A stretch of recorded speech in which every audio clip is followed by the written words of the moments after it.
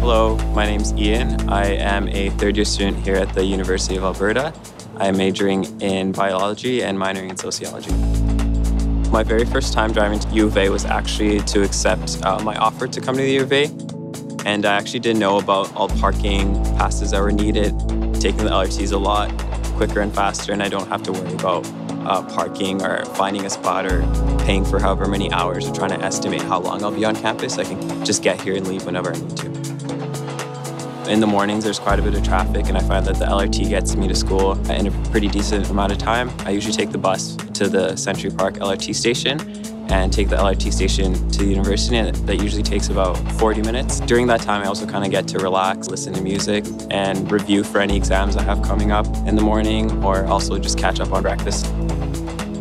Being in university has increased my awareness about sustainability and being environmentally friendly. So taking the LRT definitely plays into that and has helped me drive less and uh, reduce my carbon emissions that way. So I've heard that the LRT is expanding to the four major uh, hospitals here in Edmonton.